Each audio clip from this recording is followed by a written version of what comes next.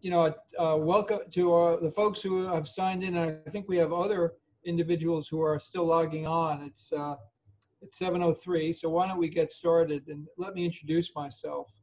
Um, I'm Dr. Charles Fuchs, Charlie Fuchs. I'm the Cancer Center Director at Yale, as well as the Physician in Chief at Smilow Cancer Hospital, and uh, really appreciate all of you joining us. I think uh, Dr. Leapman and Dr. McGibbon as you may have overheard our conversation, just how much we appreciate the fact that on a, you know, after a long day and a, an evening, people are, are willing to do it. Because this is our first Smilow Shares Forum, and thank you, Renee Gaudet, as well, for pulling us together. And I think it's a really a terrific opportunity for us to uh, to share what we're trying to do, uh, particularly in our really uh, aggressive efforts to combat prostate cancer and to make it clear what we want to avail to the community. And I, I just wanted to offer a, a few remarks before I turn it over to my colleagues. And let me, um, if I may, share my screen. Can uh, can you guys see it, uh, Bruce or Michael? Is this is this show up? Excellent. Uh, yes. Oh, great. So, um, you know, I think it's a really exciting time in cancer care, and frankly, uh, I think an opportunity that we're really looking to make big impact in in Lower Fairfield County and in Westchester and in the Greenwich region. Let me share a few a little background about who we are. You know, at, at the Yale Cancer Center uh, has really had a, has a very long uh, and storied history with a, a, legacy of phenomenal science and research in cancer.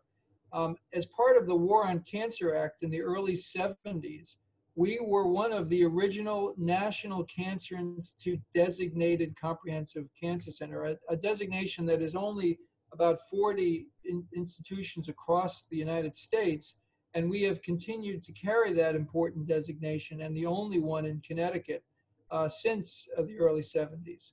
Uh, really a transformative event was the opening of Smilow Cancer Hospital in New Haven, a 15 story dedicated hospital to cancer care and innovation and research, uh, which has really been a, a real uh, center for what we're doing. But as well, I think another important element in terms of growing our clinical research operation was the opening of a state-of-the-art center for experimental therapeutics for patients who have, to some extent, tried the available therapies, a center here in New Haven where uh, individuals can get access to exciting new drugs. Today, our cancer center is over 450 physicians and scientists. And I'll talk about this in a moment. We have 15 care centers, as we describe them across Connecticut, Rhode Island, who where it's our faculty, our staff, and where we are really committed to embedding destination expert, state-of-the-art care within you know communities across the region. Um, I should also point out that we renewed our official designation with the National Cancer Institute in 2018. And because of the great progress we've made in clinical care and research, usually you get a 3% cost of living increase in our grant. And because of the progress we've made, we got an unprecedented record 73% increase in funding. This is our vision. A world leader in cancer care, research, and education, Yale Cancer Center and Smilow Cancer Hospital delivers the transformative scientific discoveries and care innovations that you know leverage Yale University and Yale Haven Health to bring us closer to a world free of cancer, one patient at a time. That is, we are a diverse community across the region, across disciplines, um, and that ultimately we will leverage all of that talent to ultimately bring to bear the best compassionate expert care to every patient uh, residing throughout our catchment area. Our mission is to provide great care, to conduct the full spectrum of research, to promote public health, to disseminate the innovations that we have here across the world, and to train the next generation of leaders. And you know, one thing that's critically important is, you know, patients when they're diagnosed with cancer, they want to see the experts. And we have experts in each of these domains. Tonight we're focused on genitourinary cancers, prostate cancer, but you know, across our entire region and across disciplines, we bring together physicians, scientists, nurses, pharmacists, social workers, everyone to actually really create an umbrella that is focused on innovation in each of these particular cancers. The other thing we're committed to doing is given the extraordinary talent of science at Yale, is to leverage that ultimately to novel treatments and really moving the bar in cancer therapy.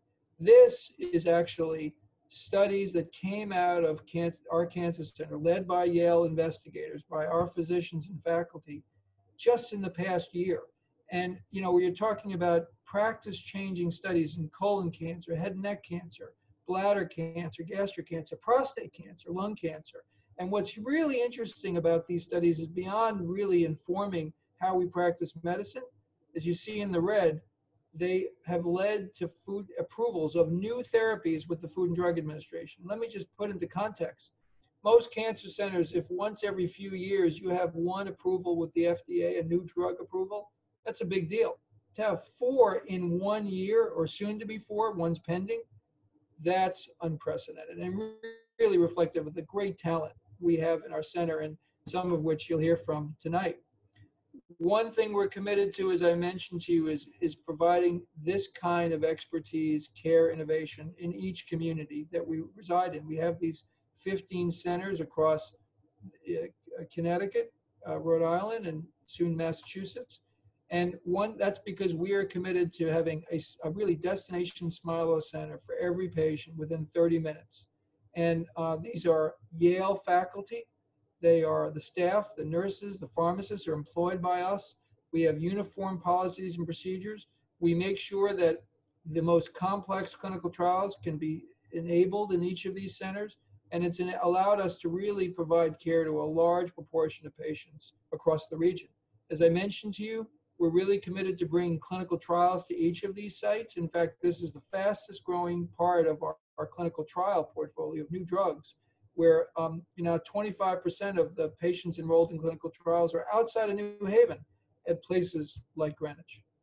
And obviously, Greenwich is, is something that we're really proud of. We've really we're now focused now to really expanding what we're doing in Greenwich we really had our full launch of Smilow at Greenwich beyond what we had been doing in July of last year to expand clinical programs, clinical trials, outreach, to really bring in all disciplines. We're committed now to building, in addition to the Bendheim Center, a new facility on the campus, in addition to the Bendheim Center, um, which we're just working on the planning, which includes an extensive multidisciplinary practice space, a breast center, infusion, radiation, clinical research, laboratory, a really a boutique healing garden, a state-of-the-art center that the communities in Lower Fairfield County, Westchester can can leverage.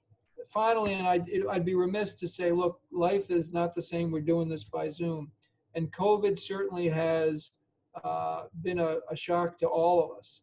But you know, we have made throughout this time since this started in February, March, we have remained steadfast.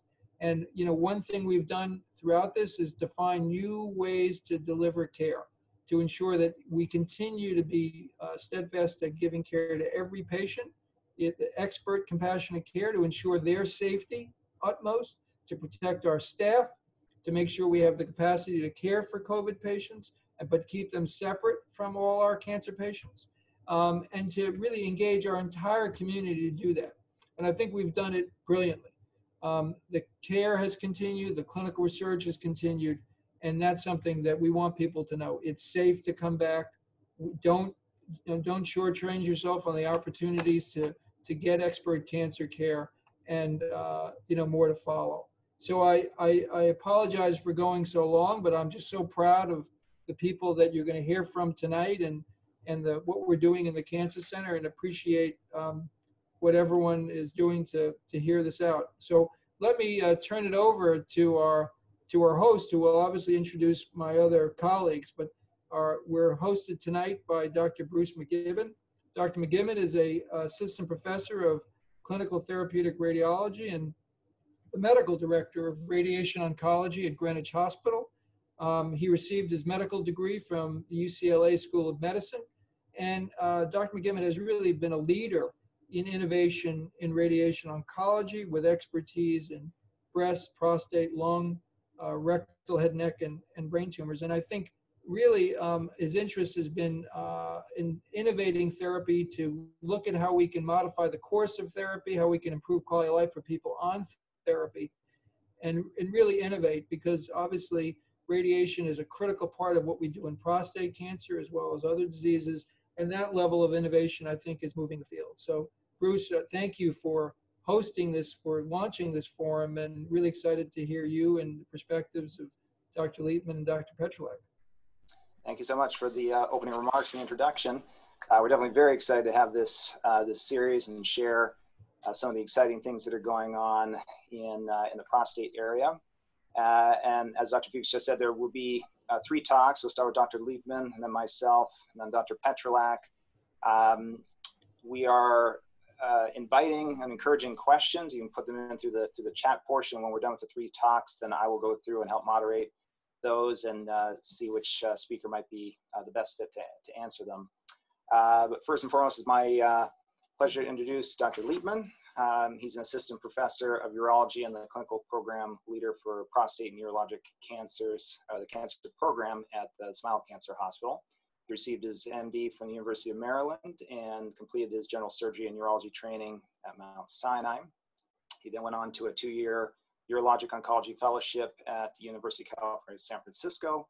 His clinical interests include treating patients with prostate, bladder, testicular, and kidney cancers.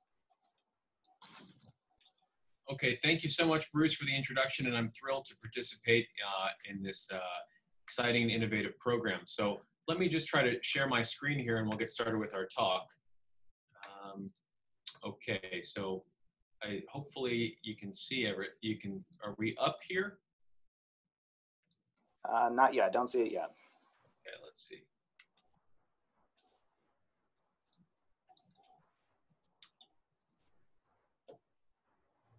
Bear with me one second. It's giving me a.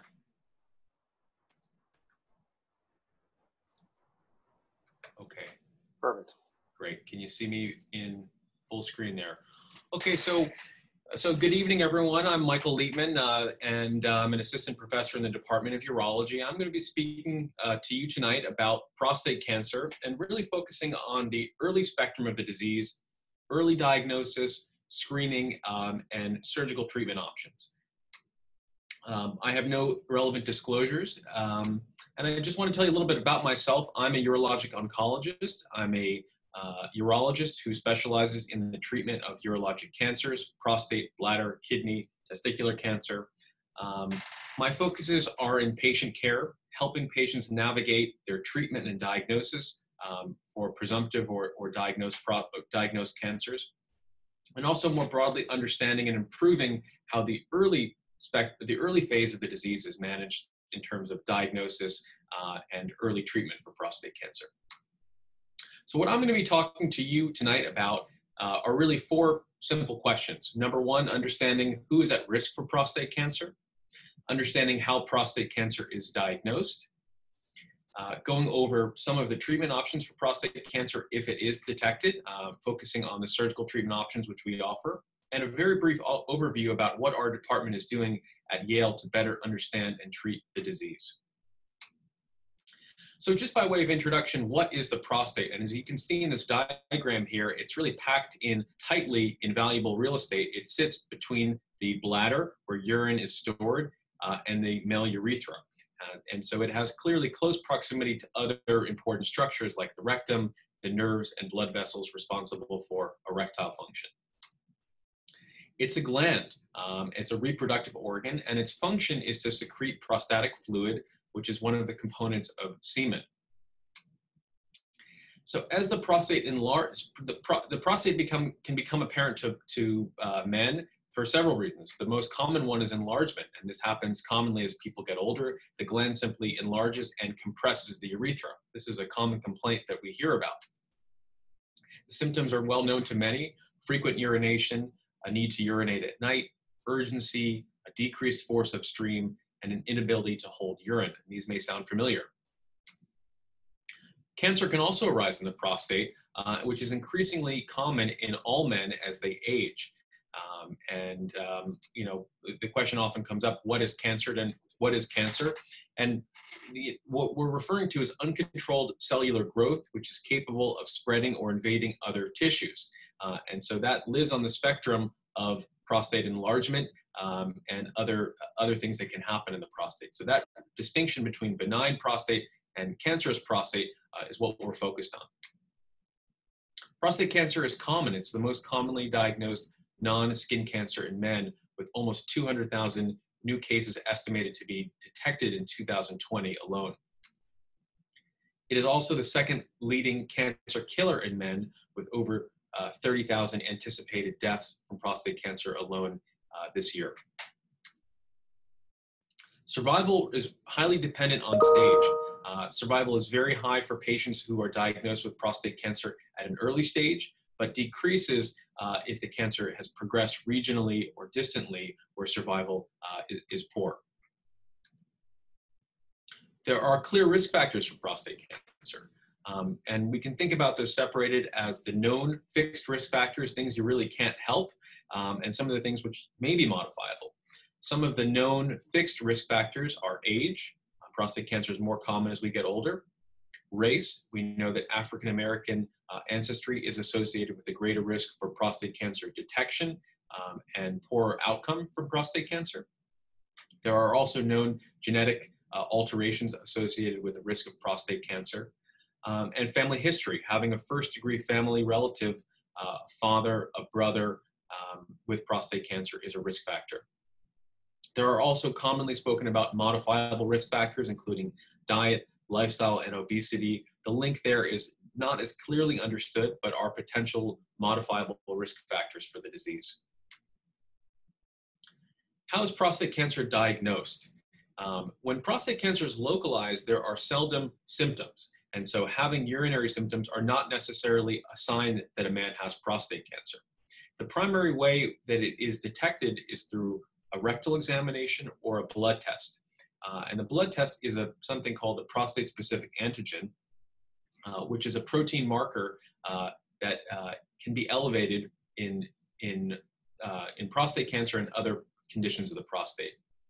When cancer has spread beyond the gland, there, are, um, there can be symptoms that arise, including difficulty urinating, blood in the urine, bone pain, or fatigue. So as I mentioned, PSA is a blood test um, that we commonly use to screen men for prostate cancer. It's exclusively made by cells in the prostate. It does not diagnose prostate cancer, but it can raise suspicion. It's not a perfect test because there can be false positives. The level can be elevated because of infection, inflammation, a large prostate. Um, but of course, the, the reason we do the test is because if it is elevated, it does raise the, the specter of prostate cancer. The question often arises, is prostate cancer helpful? Uh, is screening for prostate cancer helpful at reducing the risk of death? And this is some evidence um, th that contrasts the, the change in um, metastatic disease at presentation following the widespread implementation of screening for prostate cancer. So the PSA test really became popularized in the uh, early to mid 1990s, and there has been a precipitous decline in prostate cancer metastasis at presentation and death uh, that is largely attributed uh, to the, uh, the integration of PSA testing.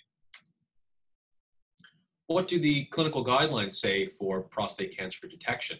Um, and so we think about these really in a risk stratified approach. There is not one, uh, one size fits all approach for screening for prostate cancer. Um, the National Comprehensive Cancer Network uh, tends to uh, or, or advocates a graded approach. There are clearly patients who are at higher risk, patients with African American ancestry or known BRCA1 and 2 germline mutations. And in those patients who are in a higher risk category, we recommend testing beginning at an earlier age, beginning at the age of 40 with a baseline PSA level. For patients at average risk who do not have a known family history, um, a baseline PSA test can begin at age 45 uh, and can be repeated every one to two years based on that baseline value. And often the question arises, when should screening for prostate cancer end? Um, and uh, there are differences in opinion, but, uh, but in general, we recommend screening until uh, patients have a life expectancy of less than, than 10 years. Uh, but in some cases, it may still be warranted. So what do you do if your PSA is abnormal? Um, and so we mentioned there's sort of a normal uh, distribution, but if the PSA is in the normal range, continued testing is recommended for most patients. Uh, and that's often done with your primary care doctor and can usually be coupled into the um, into annual lab work.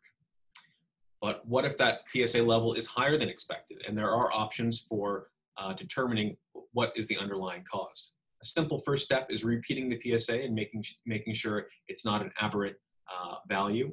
There are also biomarkers or tests that are more specific to detecting prostate cancer, as well as advanced imaging that can distinguish between malignant and uh, benign tissue. But the gold standard to, deter, to distinguish between benign and um, prostatic cancer is a biopsy of the prostate. Um, and this is a procedure that is performed generally under local anesthesia uh, using ultrasound guidance, where samples are taken from the prostate and, and examined under a microscope. One of the innovations at Yale uh, that Yale has really been in the forefront of is using prostate MRI to help distinguish between benign and prostatic disease, uh, benign and, uh, and cancerous disease. Uh, and what we have found and has been uh, seen in numerous published studies and clinical trials is that uh, high resolution prostate MRI significantly improves the detection of prostate cancer if it's present. In many cases, it can be difficult to make the diagnosis, and uh, MRI can help distinguish and identify cancerous tumors if present. We also have the technology to take this previous MRI image uh, and use uh, fusion-based technology where we actually guide our, our biopsies to areas of concern uh, that are identified, which significantly improves the detection yield for prostate cancer if present. Like any procedure, there are risks of prostate biopsy, um, and those can be thought of in a few different ways. One risk is a false positive, meaning that the PSA is elevated and there's not cancer there, um, so prostate biopsy may be unnecessary, cancer may not be present.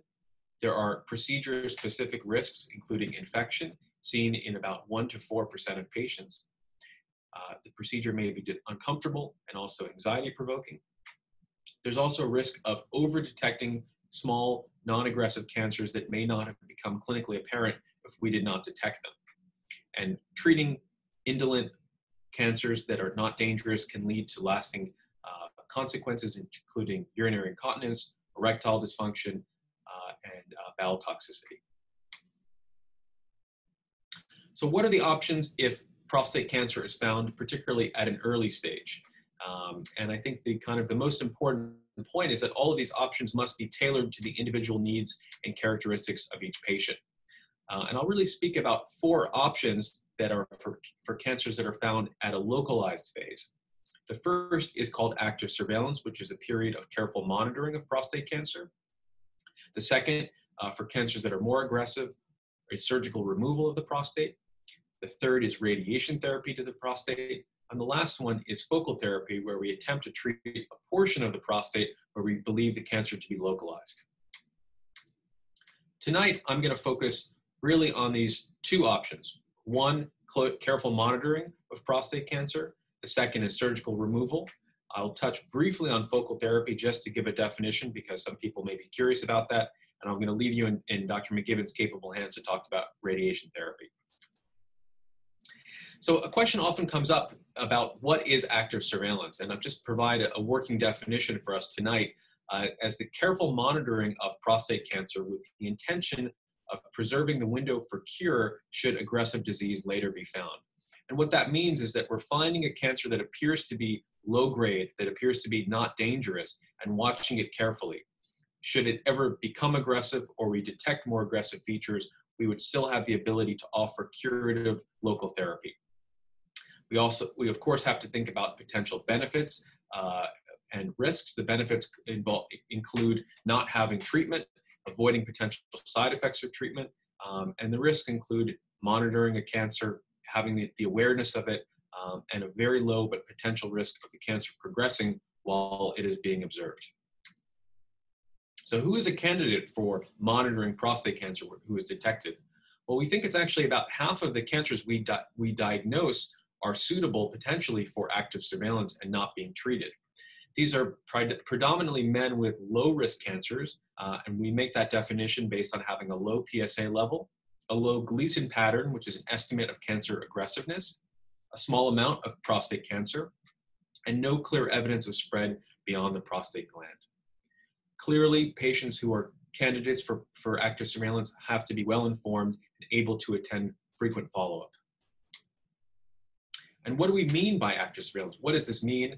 Um, it's a protocol where we carefully monitor, we put patients on a plan that involves PSA testing about every six months, a repeat prostate biopsy uh, to ensure that we have adequately staged the cancer, uh, imaging of the prostate using prostate MRI, as I mentioned, because it can identify areas that are concerning for high grade disease, and regular visits. And the intention here is to offer timely curative treatment if more aggressive disease is later found. The second option, if cancer is more aggressive and, and really focusing here on those cancers that are classified as intermediate and high risk disease, is surgical treatment. Uh, and our objective there is to completely remove the prostate using a robotic assisted approach. And what is the robot? It's this contraption here that we're, we're showing. Um, but essentially involves making small laparoscopic incisions in the abdomen and using the surgical robot to help us more precisely dissect out the prostate and reconstruct the urethra and the bladder afterwards. Some of the advantages are less blood loss, a quicker recovery, uh, and a shorter hospital stay. And lastly, um, focal therapy, which involves treating a portion of the prostate gland where we, believe the cancer to be detected. Uh, and at Yale, we're increasingly relying on MRI to help make that determination. Previously, we used to decide how much of the uh, how much of the prostate to treat based on the distribution of biopsy cores. But because MRI so reliably identifies significant prostate cancer, uh, we use we use that as our roadmap for the area to treat. And lastly, I'll end with talking about what we're doing at Yale to improve the diagnosis and treatment of early stage prostate cancer. I think probably the most significant change has been changing the entire paradigm of detection um, through the use of image guided diagnosis. And here is a sort of a more detailed picture describing how we actually do that diagnosis, how we, how we make that fusion biopsy occur. And there's really a two step process, which I'll highlight briefly, where we obtain an MRI image before, which is highlighted here, uh, and we work with our radiology colleagues to identify areas that are suspicious for prostate cancer. Then, as the biopsy is occurring, the urologist creates a 3D representation of the prostate using an ultrasound. And in the final step, we merge those two imaging modalities together and help identify the area of concern. So in this picture, this red square represents the area we believe to be cancerous, and the the fusion biopsy machine is going to help us direct our biopsies right to this zone uh, to determine whether or not cancer is present. Uh, and this, this really does work. We have found in, in our data, uh, which has been uh, seen at several other institutions, this yields to about a, this results in about a 30% greater yield of high risk prostate cancer if present, and also allows us to uh, reduce the number of low risk cancers uh, that we are detecting.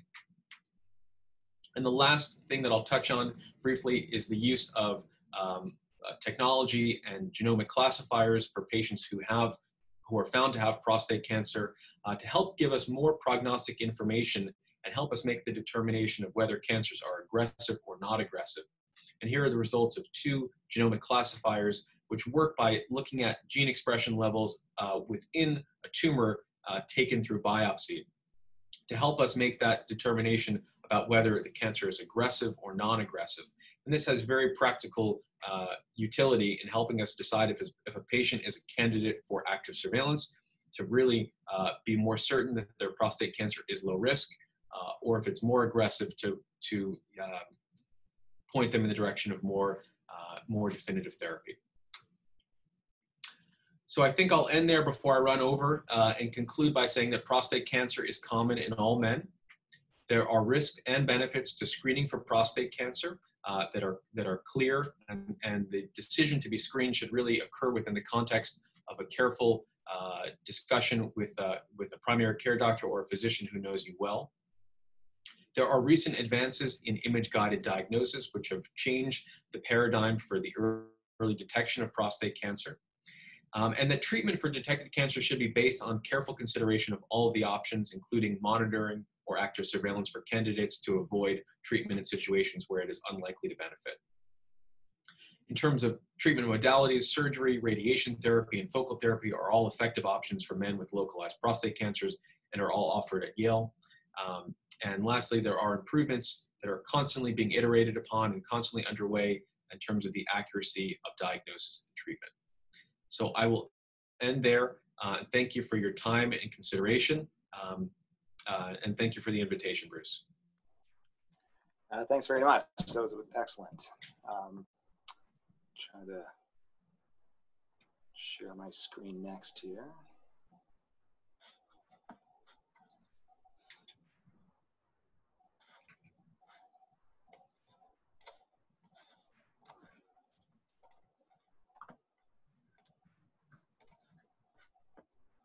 Uh, let's see, can you see my screen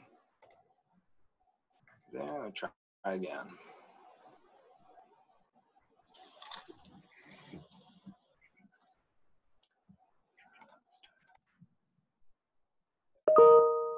You see the screen now?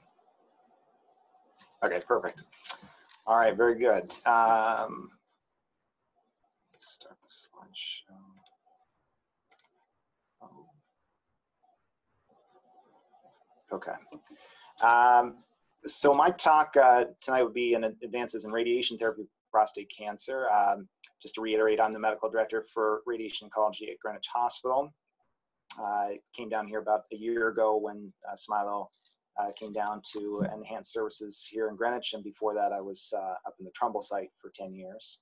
And there's a lot of exciting stuff that's uh, going on in uh, in this this space for radiation. So I'll highlight some of those things. Um, first thing I wanted to show is really just a schematic. Let me see if I can start this slideshow again, but uh,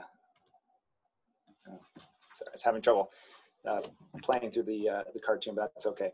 If you look at this uh, this picture on the, on the lower right, this is a picture of the machine that we have at Greenwich. It's made by a company uh, Varian, which is the market leader in radiation equipment. It's called the TrueBeam.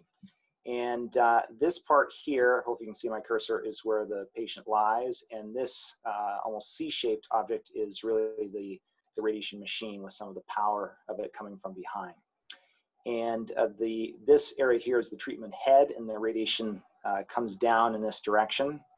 And we can spin this machine around the patient, and we can move this this couch so we can approach uh, the treatment site from many different angles, and with using a lot of different shapes.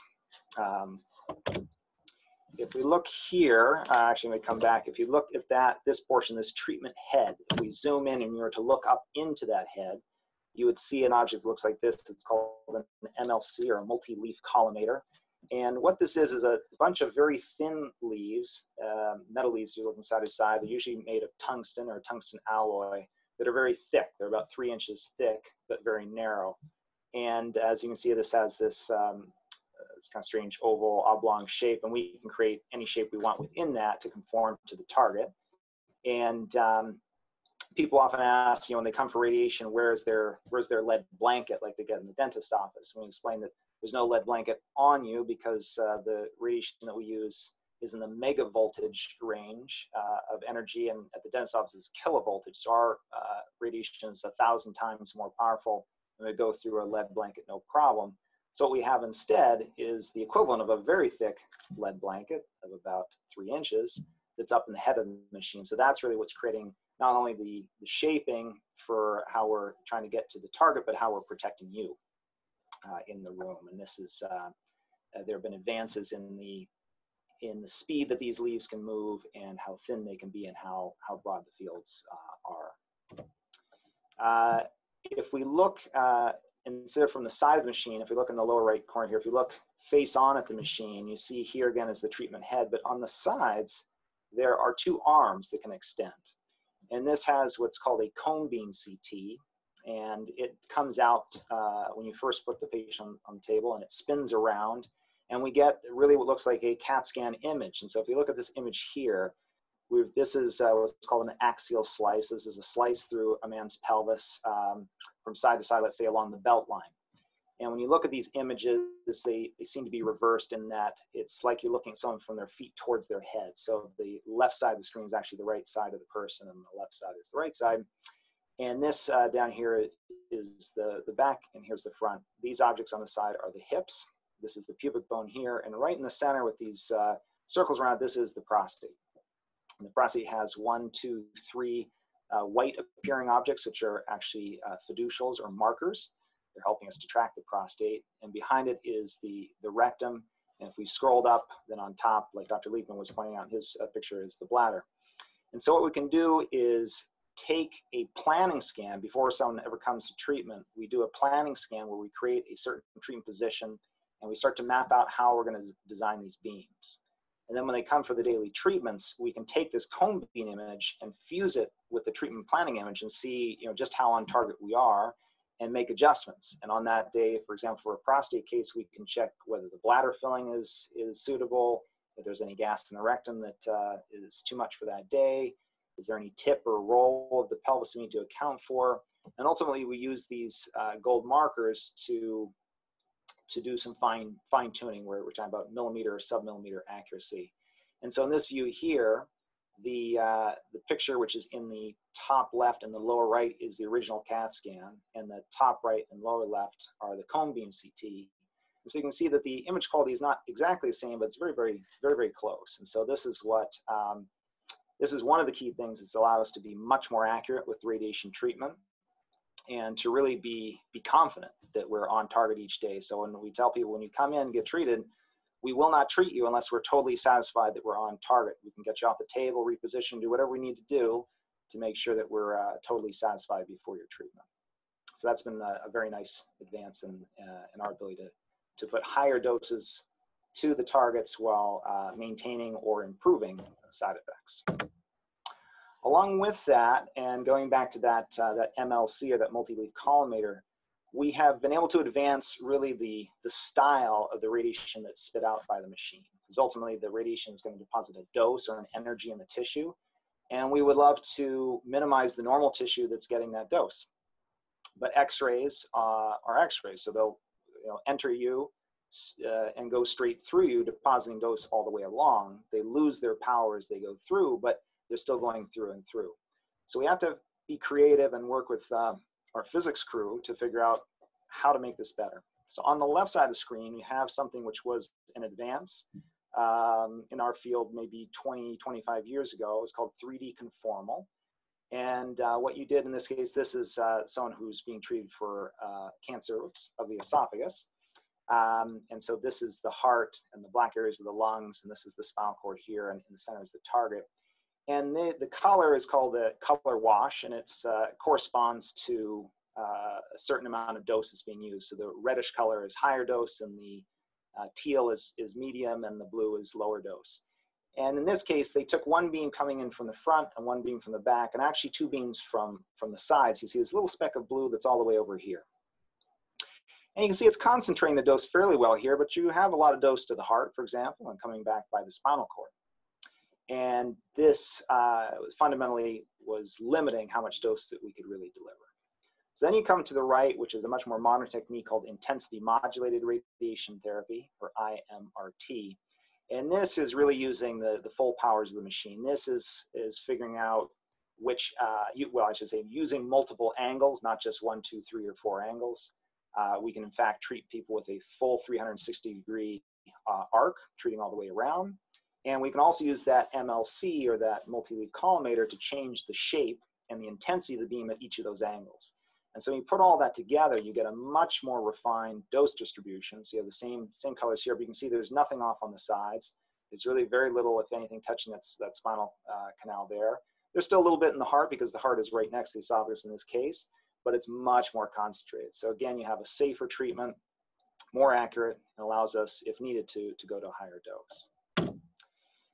Uh, another technique which has become much more uh, common and popular in the last maybe five to eight years is called stereotactic body radiation therapy or SBRT. And uh, this goes by a bunch of different names. SBRT, of course, is one of them. Uh, SABR is another, or stereotactic ablative radiation therapy. And one machine that's become quite famous that uses technique is called CyberKnife. So a lot of people have seen advertisements for CyberKnife on billboards or on the radio or what have you.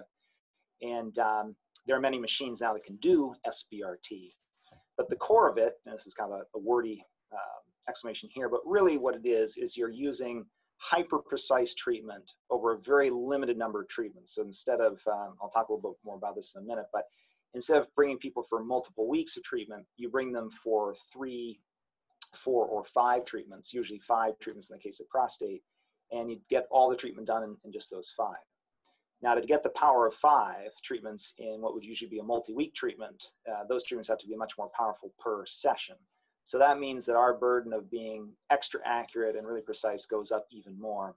And so if you see these pictures down here, now we have an IMRT plan of the prostate. So to look at the anatomy again, here are the hips on the side, pubic bone, rectum here. Uh, I'm going to talk a little later about what this uh, pink object is, but here we have the, the prostate. And you can see with that same kind of color wash that there's really no significant dose that's off on the side. It's all concentrated right in here. And the image on the right is an image as if we were looking uh, straight through from front to back. And so here in yellow is the bladder, here's the rectum right behind. Uh, this is the base of the penis here, pubic bone here. And so again, you can see very little dose going to the rectum. The bladder is nicely spared. Uh, you know, a lot of normal tissues are able to be spared using uh, IMRT or SBRT. Uh, one thing that gets certainly a lot of press and a lot of interest from patients uh, is CyberKnife, which I talked about there, and protons. Uh, I'll skip over to CyberKnife since I already mentioned it. CyberKnife, if you look at this machine, you can see the shape is totally different than the one I showed you before, but with the TrueBeam. This portion here is actually a miniaturized version of that machine, and it's attached to a robot arm, actually a similar robot to what's used to help build cars. And um, it allows this, uh, this radiation machine to be manipulated in a, a, lot of different spaces throughout the room. And ultimately it comes out as a little pencil beam instead of having that multi-leaf collimator idea. And this machine, the reason it's um, become somewhat synonymous with certain radiation treatments for prostate is it was the earliest machine used to treat prostate with SBRT. Now the field has advanced so that uh, our machine, the TrueBeam, and many others can do SBRT, but you'll still see some uh, offices and some, um, some advertisements just calling it CyberKnife instead of the stereotactic treatment. That's a very nice machine for what it does. It's not a very flexible machine and it can't do broader treatments or uh, it's not good for longer durations, but it's, it's very good for uh, small treatments. Protons is uh, a whole other exciting thing. Protons um, are very, very expensive machines uh, that um, are growing in number in the US, but still fairly limited. Um, uh, because of their cost and uh, to install and to uh, and to maintain. And they have a, a different physics property in terms of how they deposit dose. And before IMRT came along, uh, protons really had a dose advantage in treating prostate cancer compared to the older 3D technique. But once we got IMRT and SBRT and these other things, now we're really able with uh, machines like the TrueBeam to give the same kind of dose uh, deposit uh, as, as a proton machine does. So we're not, right now for protons versus photons, we're not really seeing any significant difference in the outcomes and on the cure rate, on the side effects. But, um, but it is an area of active research because there are some exciting, uh, like I said, physics properties of the machine. And, uh, and as a radiation field, we're looking to see uh, which, which cancer types might benefit from that, which uh, don't really need it, and uh, how to harness that power. But for now, for, for prostate, really there's no, uh, no advantage, protons over photons or photons over protons. Uh, so to dive in a little bit more into the, you know, how we use uh, radiation prostate cancer, there really are three settings. I'm gonna touch on two of them. One is intact prostate, uh, meaning you've been diagnosed, no surgery has taken place, you're, you're deciding whether to do surgery, uh, the really options Dr. Leapman mentioned is it active surveillance, surgery, radiation, or focal therapy. And um, there are within this realm, there are really two major options. One is external beam radiation, which is used in kind of machines I've been showing, where Uh, there's nothing inserted that's radioactive. You're just getting uh, uh, X-rays or protons fired from a distance. And then you have brachytherapy, which is usually a radioactive seed implant. Most of the prostate radiation being done in the US these days is external beam, although there are some, some specialty centers that do brachytherapy. And uh, within the external beam world, there really are three basic approaches. There's that IMRT I've been referring to, which for this setting is usually 40 to 45 treatments. Those are done as uh, 15 minutes per day, five days a week. So you're talking about eight to nine weeks of therapy. Then you have something which is a bit of a mouthful, but it's called moderately hypofractionated IMRT. This is using a little bit higher dose per day, but shortening the treatment to 20 to 28 sessions. And then you have SBRT that I was just mentioning uh, with the five treatments. Um, I won't speak tonight about, uh, unless people have questions, I'm happy to answer in the Q&A, but I don't have any slides on how we're using radiation after prostatectomy, although that's uh, uh an exciting area where uh, if uh, there seems to be prostate cancer recurrence after surgery, we can often come in and, and try to salvage things with some radiation dose. And the other setting I will talk about is oligometastatic. Um, it really what this is referring to is metastatic cancer is where it is spread beyond uh, the prostate. Usually we're talking about bones in the case of prostate cancer. And oligo means really just a few. So instead of there being you know, 15 or 20 spots, maybe there's only one spot in a bone or two. And is there something we can do um, to go after those spots? It's just very limited. So uh, I'll speak from about this moderately hypofractionated radiation. So this is something that was used more in the UK, Canada, some other European countries, and, and is a relatively new uh, comer to the US, a lot brand new. And like I was mentioning, the whole idea is, you know, can we bring men for fewer than eight to nine weeks while still having a, a great toxicity profile and a great cure rate? And the short answer is yes, you can do that. Uh, the effect profile between that long course and I'll call this the medium course is very similar. It might have a slightly worse um, set of urinary side effects, meaning a little more urgency or frequency of urination or a little bit more of a burning sensation, at least temporarily during treatment. But overall, very similar. And uh, the bowel issues, any loose stools or things that nature that we sometimes get, looks to be identical. So it seems like for most men, um, that it's a, a very nice trade-off in terms of more convenient, but not really trading anything uh, in exchange for being more convenient. And in fact, the NCCN guidelines, again, that uh, Dr. Leapman was referring to earlier, when you look at the section for radiation, uh, they've now updated that to say that this, this medium version, this moderately hypofractionated, is really the preferred approach uh, for external beam for treating intact prostate cancer. Now, interestingly, with COVID, uh, you know, we have been looking for ways, of course, to make things safer uh, for patients. And one of those things is keeping you out of medical centers.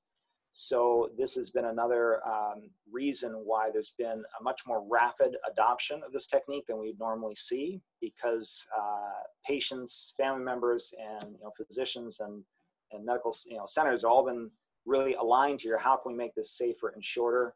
And so this uh, this data that's around uh, you know is really really great to have on hand. Now we know we don't have to bring you for eight to nine weeks, except in very selected cases. Uh, we can get the job done in more like four to five weeks or four to five and a half. Um, oligometastatic. So this is uh, a little bit of a busy slide, but I'll, I'll break it down into the top and bottom. So like I was mentioning, oligometastatic is, it has spread somewhere else, but to a very limited degree. And years ago, this is something where we say, well, you know, it's already escaped. We're really just, uh, you know, kind of playing defense here and, and seeing what we can do. Now, you, I think you'll hear from Dr. Petrylak about how we're getting more aggressive with metastatic disease in general. But when we look at oligometastatic, we say, you know what? What about getting more aggressive with disease that's around?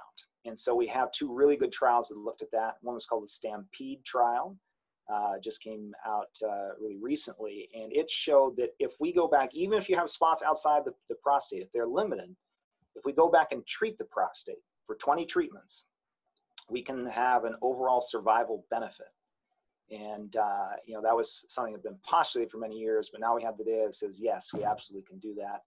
And uh, it's actually a little bit lower a dose than, than we'd use uh, for an earlier stage prostate cancer. So we know that men tolerate it really quite well and it has the survival benefit. So we're, we're starting to offer that a lot more. And the other question is, well, if you're going to treat the prostate, what about those two bone spots? What should you do? And our feeling was, well, I, I think it makes sense to treat those, but we didn't have the data. Now we have some data. It's called the ORIOLE trial. And uh, by going after those uh, several spots with more aggressive treatment like that SBRT, so very focused high dose treatment, uh, we were able to show a progression free survival, meaning that you're not just alive, but things are being held in check. So uh, very exciting application of this fancier version of radiation really trying to help out in the oligometastatic setting. Uh, next, I'd like to talk about SpaceOAR gel. So this was um, that purple object I was referring to on a prior slide.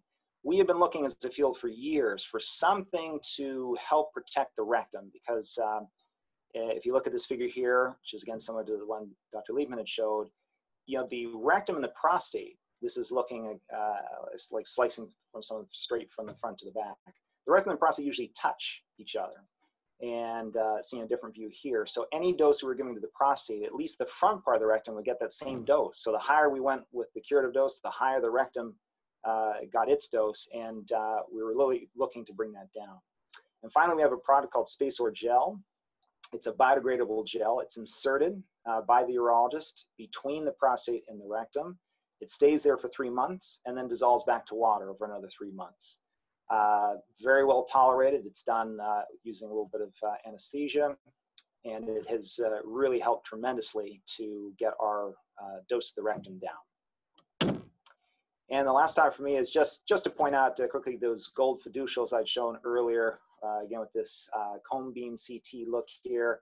We often use gold, but other products are there. They're about the size of a grain of rice. And um, so we, we ask our colleagues at Dr. Leapman to do is before coming for radiation planning, we'll have them put in uh, three or four of these gold markers and the gel as part of one procedure, and then they come to us for that radiation planning and we uh, take it from there. With that, uh, that's uh, all my slides. I'll be happy to answer questions later. Um, I appreciate your, your attention. Let me stop sharing the slide. Let's see. Stop share. Okay, very good. Uh, so let me introduce, uh, very uh, happy to introduce Dr. Petrylak as our last speaker. He's a professor of medicine and urology and co-leader of the Cancer Signaling Network's research program at the Yale Cancer Center. Uh, he received his medical degree from Case Western uh, Reserve University and joined the, the, Yale faculty in 2012. Uh, he is a pioneer in the research and development of new drugs and treatments for prostate, bladder, kidney, and testicular cancer. Uh, for patients fighting these types of cancers, he finds recent developments in the field of immunotherapy to be particularly promising. And he's a national leader in clinical trials for men with prostate and uh, bladder cancer. So I'll turn it over to Dr. Petrylak. Thanks, Bruce. Uh, so I guess we have to share our screen here. Just while we're doing that, was that Carnoustie in your last uh, slide? It looked like Scotland. That was, St. Andrews. That's St. Andrews. Okay, I was close. I was close. I had the good pleasure of playing on Saturday and Sunday with a young man who uh, was 63rd in the world who missed the cut at the U.S. Open, and man, that's on another level. So, uh, uh, but it was a lot of fun. So, how do I? Uh, I just hit the share screen here. Uh, yes, exactly. If I can not get too many things here, let's see. Um, Dan, you're all set. You can just. Okay, I can just go ahead. Terrific. Okay, so uh, it's really great hearing the two lectures from uh, Dr. McGibbon uh, and Dr. Leapman, uh, good friends and colleagues. And what I really would like to focus on, since this is a talk that's for the community and for patients, is how we think about prostate cancer from a medical oncology standpoint. And um, uh, what I'd like to talk about first is how we all interact. And it's important that your urologists and oncologists communicate. And we at Yale like to look at this in terms of what we call the multidisciplinary approach, which involves all treating clinicians for, your, for the patients urologists, medical oncologists, radiation oncologists, and also your primary care docs as well, because some of these treatments that you're going to receive have implications in terms of your bone health, in terms of your cardiovascular health, and it's important that we're able to focus on that to give you the best care. And that's actually been proven in two different institutions where they have multidisciplinary clinics doesn't have to be a physical clinic, but the clinicians should be communicating. So Jefferson, they found that there was a better survival rate for patients with advanced prostate cancer compared to uh, patients uh, who were in the general population. Jefferson uses a multidisciplinary approach. Same thing with the University of Colorado. Both institutions have demonstrated this. That's why it's so important for your physicians to work together and to communicate. So we want to optimize our patients' outcomes. We want to improve access to specialty therapies. We want efficacy in patient and clinician schedules. We want to coordinate care and want to improve provider communication with the patients uh, through the entire course of the patient survivorship. And that includes a team of nurses and nurse practitioners that work with each individual physician. So what's my role as a medical oncologist in the management of uro urological cancer? So what I do is I'll assess the need for additional therapy in the treatment of urological malignancy. So if Dr. McGibbon has a patient who has localized prostate cancer, as he mentioned before, whether this is oligometastatic disease or localized disease, and they need hormone therapy or other treatment in addition to their hormone uh, to, to, their radiation therapy, we administer that. Same thing with Dr. Leapman. We help decide where uh, whether the patient needs additional treatment postoperatively, such as a lymph node positive patient uh, after they've had their prostate cancer out, and we want to integrate the specialties to deliver the best care. As we're seeing now, the pathologist is also playing an extremely important role in the management of advanced prostate cancer, and we'll talk about why you should be asking your doctor about whether you have molecular marker testing uh, for your prostate disease. Why Greenwich Hospital, Yale Cancer Center? We have access to personalized care. We interact. Urology, radiation oncology, and pathology and medical oncology all work together. We have a, a weekly tumor board. And one of the jokes uh, that we had, uh, rather than having a multidisciplinary clinic, we have a multidisciplinary office where Dr. Leapman is down the hall from me, Dr. Kohlberg, uh, one of our surgeons, Dr. Kenny. We're all in the same place and we often converse late at night uh, to help best take care of our patients. What's the problem? We know that prostate cancer is one of the most commonly diagnosed uh, cancers in men. It's 28% of all cancer diagnoses. There is a bit of discordance because it's only about 10% of cancer deaths. It's the second leading cause of cancer death in men. About 30,000 men will die from metastatic disease every year. I think it's important to note, and this, I don't want to scare anybody, but it's important to note that this disease is not curable once it spreads outside, but it's controllable. And we can have patients live five, ten years with good quality of life, good functional activity, and uh, able to see their grandchildren graduate from college or to enjoy their retirement to do other things. So it's important, again, to define what the goals of care are for our patients. We're moving into a new era in prostate cancer, and this is different than the way we've been thinking about the disease in the past.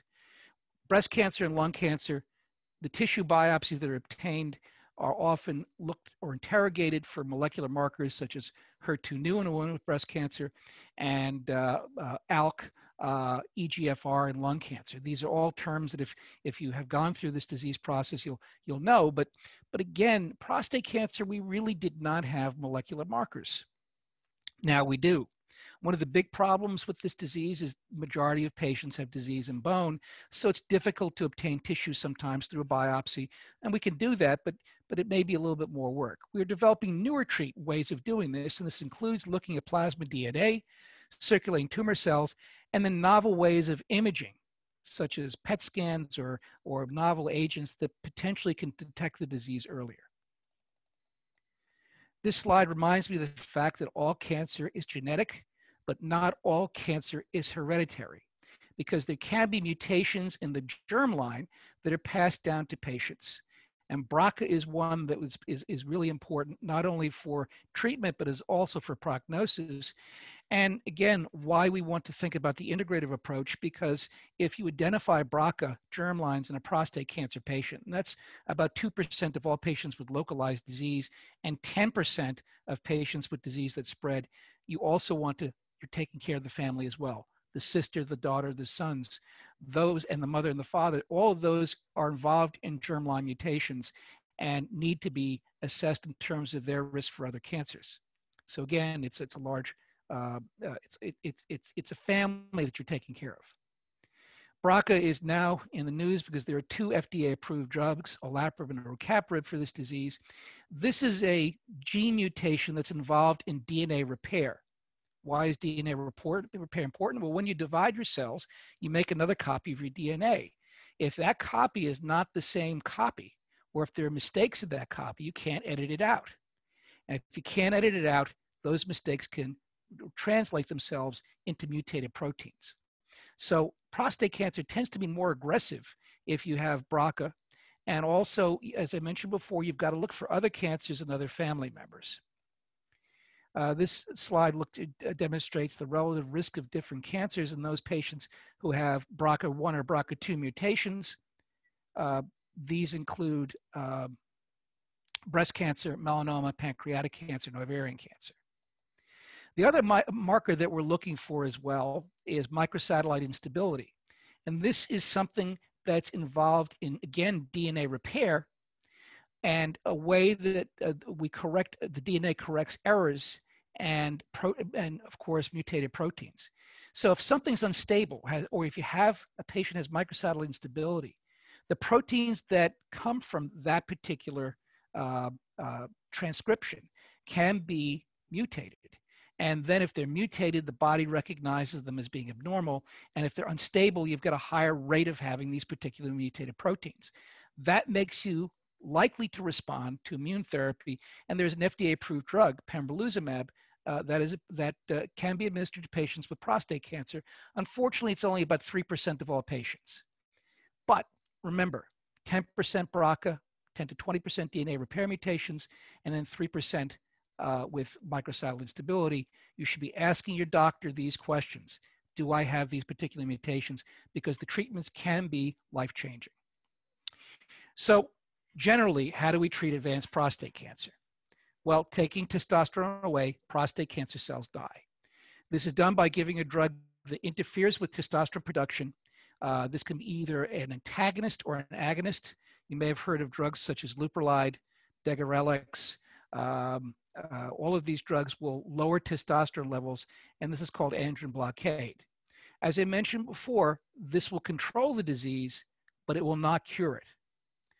The target is still there. That's the androgen receptor. Imagine, uh, if you will, a lock and key situation. The receptor is the, is the keyhole, testosterone is the key, and if you turn that key, then uh, the cells divide and can grow. Now, what we do, of course, is with the androgen deprivation therapy, take the keys away. But prostate cancer can be smart and it can learn to make its own testosterone, or it can change that keyhole such that different ligands or different keys can fit in and activate it. So, this is one way that patients become resistant. And this slide shows the natural history of what happens. And uh, we have the initial diagnosis that may be made and treatment by Dr. Leapman uh, or Dr. McGibbon. And then patients certainly can progress. We may want to administer hormone therapy. And then over a period of time, uh, this will respond. The PSAs will drop rapidly. Symptoms will improve. But then you develop something called the castration resistant state, where the testosterone is left less than 50. And patients then begin to have uh, progression you know, by bone uh, or progression by PSA or in soft tissue. How do we treat that? We have a variety of different agents that we can administer. And I mentioned before, for MSI high, pembrolizumab is something that's administered. But there are uh, pro, uh, drugs such as sipuleucel T, which is otherwise known as Provenge. That's an immunotherapeutic agent that we administer to patients that will make patients live longer, but generally does not result in a drop in PSA or a um, uh, improvement in soft tissue. We think it just simply slows the disease down. There are other hormonal agents, enzalutamide or Xtandi, apalutamide, darolutamide, abiraterone or Zytiga. These are all FDA approved. There are cytotoxic agents such as docetaxel or cabazitaxel. Uh, then there are DNA damaging agents um, uh, such as radium-223 and then olaparib and rucaparib. The real trick here is how do you sequence these? Because uh, these treatments do wear off after periods of time. And you know, the numbers that I have here are average numbers, but there's some patients who may get years worth of benefit out of these drugs. And uh, again, how do we select them and understand who's the best patient to receive a particular treatment? One of the things that we're working on Yale is, is a new class of drugs uh, called a PROTAC. And this is a way of overcoming uh, resistance to hormonal therapy. So we have proteins in our body we dispose those proteins as they become older, as they become, uh, uh, uh, you know, not viable. And there is a system that basically is a garbage scavenger of protein, and that's called the ubiquitin ligase system. And basically, what this system does is it recognizes a protein that may be old, it tags it, and then it degrades it, sort of like a garbage collector. Well, Craig Crews at Yale has developed a drug that accelerates that process. It's called a PROTAC. And a PROTAC can bind to a disease causing protein, such as the androgen receptor, and then accelerate that process and degrade that protein more rapidly than it would be in a normal situation. And in fact, one PROTAC molecule can degrade 400 androgen receptor proteins. So this is a completely new way of approaching prostate cancer. And we're right now in phase one trials of this particular compound we presented our preliminary data at ASCO this year. And uh, we did we, we, were doing a dose finding study. We're looking also at different uh, correlates from the tissue. In fact, we've actually demonstrated that the androgen receptor is downregulated in human tissue after we administer the PROTAC. Uh, the first patient was entered at Yale in, in August of 2019, and we reported at the ASCO meeting this year, which is the annual meeting, uh, that we had two responding patients in patients who had mutations that were susceptible to that particular PROTAC. And the drug is called ARV110. So we're very, very excited about these preliminary findings. We're moving forward with this in, in a more expanded uh, uh, study. But this is something uh, about the uniqueness of Yale. We are able to go from the laboratory to the patient and take some of these new drugs and move forward. Two of the other uh, things that we're working on right now uh, in collaboration with other institutions are some of these newer molecules called BiTEs. And what a BiTE is, is an antibody. As you know, an antibody recognizes foreign proteins, foreign viruses, and there's a specific binding site on that antibody that is used for recognition.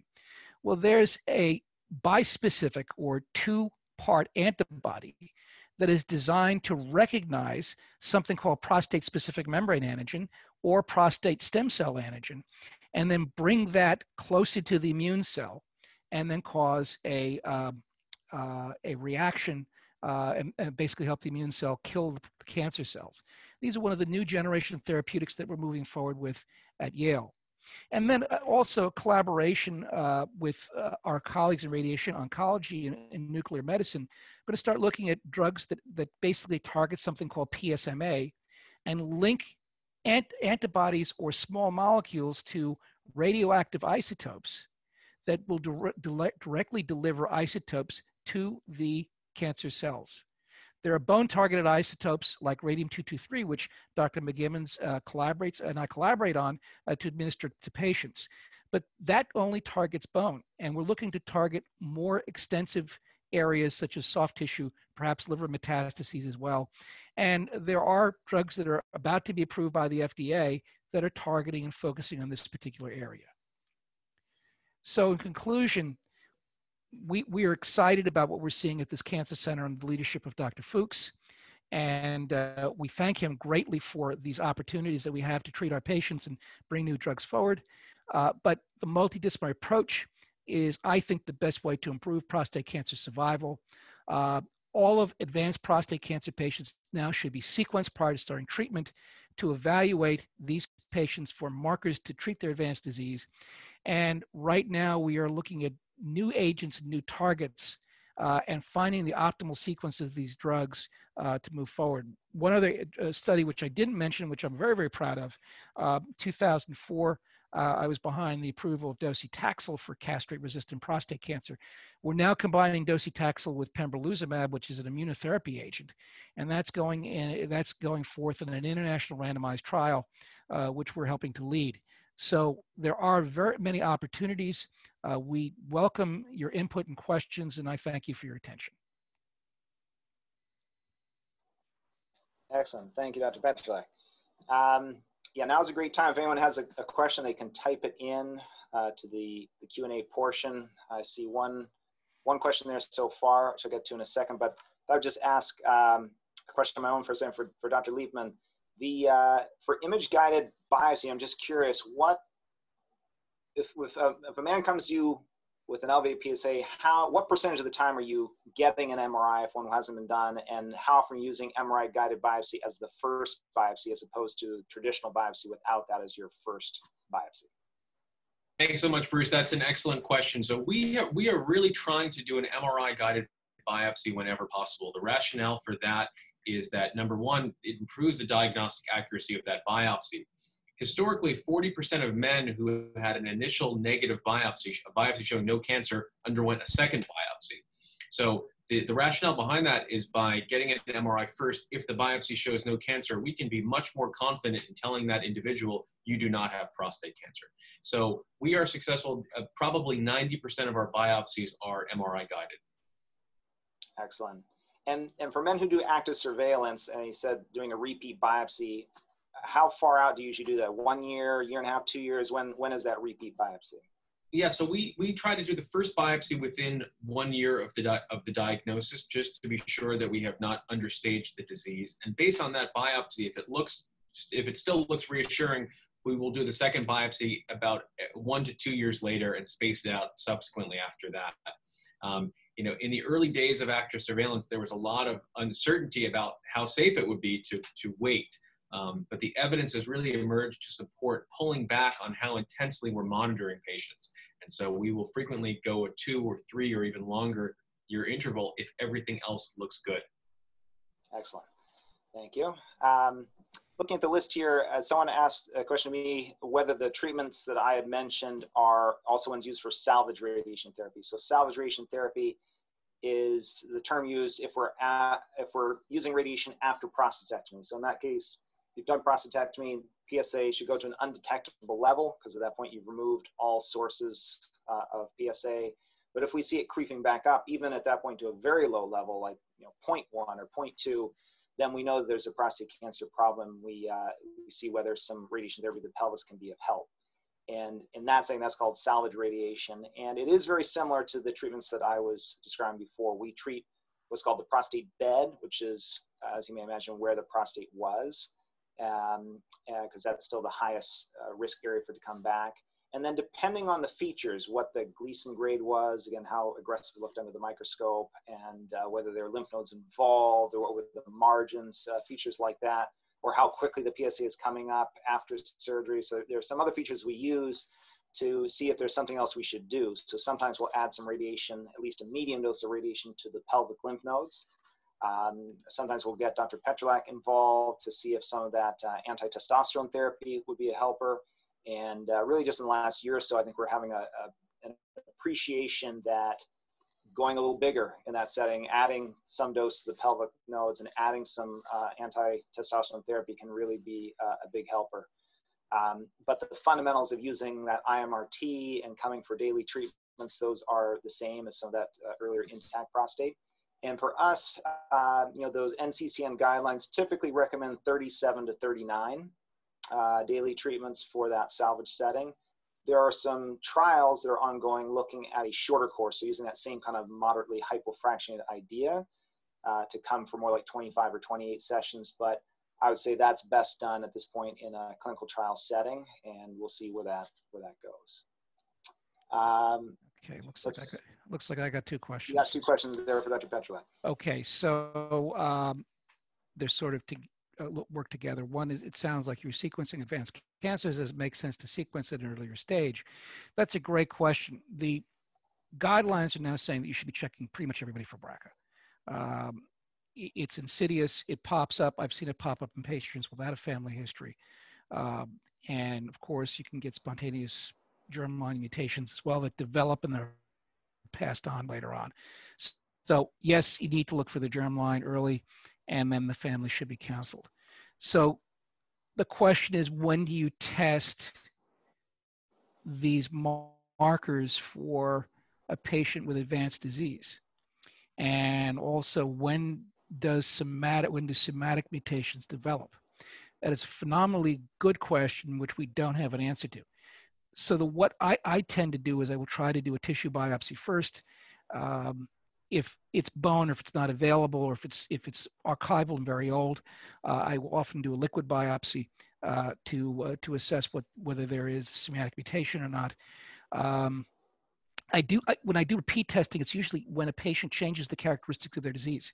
If they have a rapid acceleration, if they have the development of hepatic metastas, liver metastases, um, something to suggest that the disease has changed in some way. There really are no guidelines for retesting at this point, and it's really limited by insurance and what people will pay for at this particular time. But it's a phenomenal question because when we're giving drugs to patients. Um, you're giving these drugs uh, and it's basically evolution within your body. You kill off the sensitive cells, then resistant ones are left. And does that change over time? And do you revert back to a different phenotype again? We really don't know the question. One of the things that we're working on right now at Yale, and uh, Joe Kim, who works with our group, is a really dynamic junior attending. He's looking at trying to induce BRCA-ness. And what do I mean by that? Well, as I said before, 10 to 20% have BRCA somatic or, germ, or somatic or germline mutations. If you deprive cancer cells of oxygen, they become hypoxic and they can't repair the DNA as well. So you're effectively inducing BRCA-ness.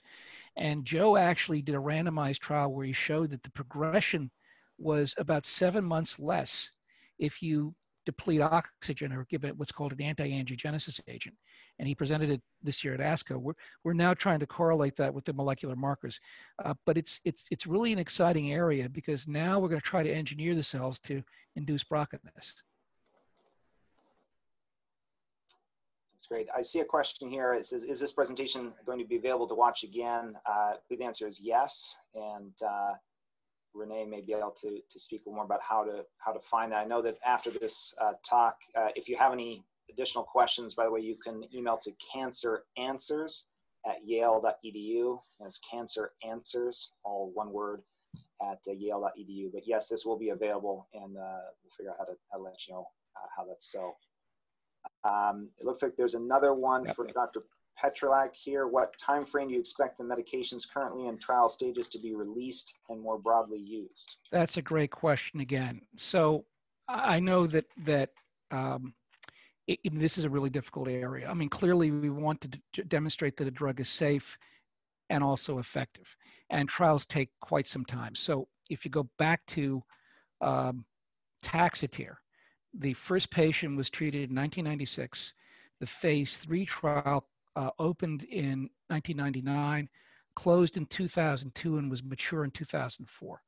So that's eight years from the time that the drug first went to the pa- a patient to the time it um, uh, moved forward. So that that's a long process, and patients can't wait.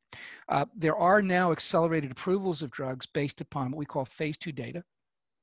In other words, if the drug shows efficacy or it looks like it's effective in a small trial that the FDA says, puts a certain um, uh, response rate. So we, we just, in bladder cancer, we just got a drug called enfortumab vedotin uh, approved on an accelerated basis in December. And so that's December of 2019. The phase two trial opened about two years before that. Uh, and then the phase one trials were open in 2012. So it's still a long process, but it's now available to patients. It, it's a little bit shorter, and we'd have to go through the phase three. The phase three was confirmatory. The phase three data was just announced in the press release about three or four days ago, and that was positive. So, uh, you know, I encourage everybody to get involved in clinical trials if available. Talk to your doctors about it. Uh, we try to make a trial available for every disease state. So if you've come in and you've been on one treatment, treatment A, then you go on treatment B, and we always try to talk to you about trials at a, at a given point. And, and again, we appreciate all the patients who have volunteered uh, for this over time because you know it's it's it's a it's a hard it's not easy. And you know it's it's an unknown. These patients are pioneers and they're helping us and not only themselves potentially but other patients in the future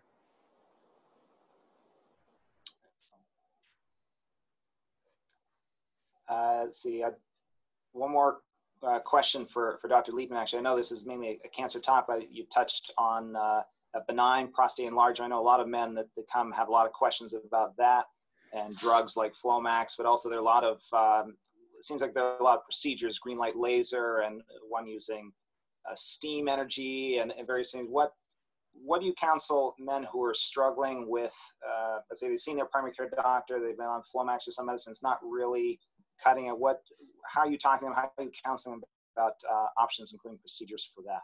Uh, thanks, Bruce. Yeah, it's very much interwoven, right? So the you know, so men become very often you know become aware of their prostate. Having urinary symptoms is almost universal, and so that is relevant to the question of prostate cancer because there's awareness of the prostate. That question about could this be cancer always looms large. So, um, you know, so I think it is important to begin ha- begin having those conversations. Clearly, make the distinction. Um, but for people who do have benign urinary symptoms, you know, the first line treatments are usually medications to help essentially open up the prostate, let more urine pass out. And that helps, you know, significant number of men, but there are some who have symptoms that do not respond to medications. And I'm often shocked at how many people don't realize there's something else that you can do. Um, we've made great strides here, and we have a few people who specialize really in this field of minimally invasive treatment for prostate for benign prostate cancer, for, for benign prostate symptoms, so not cancerous disease of the prostate. Uh, one person is named Daniel Kellner, who's outstanding and has really um, become a leader in a laser approach where they essentially treat very, very large prostates, which are not cancerous, but removing the center portion of it, which has a very uh, minimal long-term side effects and can make really profound differences in the quality of life for men who are struggling with urinary issues. Fantastic. Thank you. Um, it looks like there's one more for Dr. Petrylak. This is uh, another nice nuanced question. So are there trials for non-metastatic castrate-resistant? Ah, so castrate, yes. Right now, we, we are sort of in a limbo period right now because we were working with a vaccine trial, uh, which was basically a PSA vaccine that we're combining with a checkpoint. Uh, there are trials. I right now I'm, uh, I'm sort of in between uh, studies. Uh, the standard there there are three standard FDA approved drugs right now. One is apalutamide, one is enzalutamide, and the third is darolutamide. So th- those are drugs you would consider for the situation um, at this point. Now we don't know if, if, sequential use of these drugs is is uh, going to give you any more benefit if you fail one and then go on to the other. Uh, but stay tuned. Hopefully there'll be something open within the next six months. We're we're still recovering from COVID and getting our trials going. So it's been a slow process, but it's it's moving forward.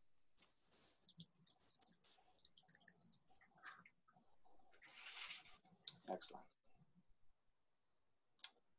Let's see, we're almost uh, finished with our time. If there are any other questions, I'll just pause for a moment in case uh, any other ones want to be typed in here.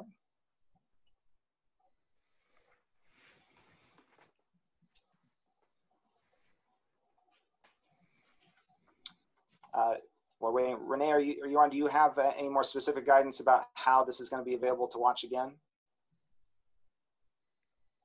Sure. So the video will be posted to yalecancercenter.org and we'll also share it out on social media to all the Smilow Cancer Hospital pages. Great. Uh, one other thing, uh, I usually, when we open up new trials, I'll put that on Twitter. So those of us who would want to follow the Yale, Yale Cancer Center on Twitter, as well as my own Twitter account, which is part of the Yale Cancer Center. Um, and I also try to uh, uh let people know about new findings that uh, are coming out. Excellent.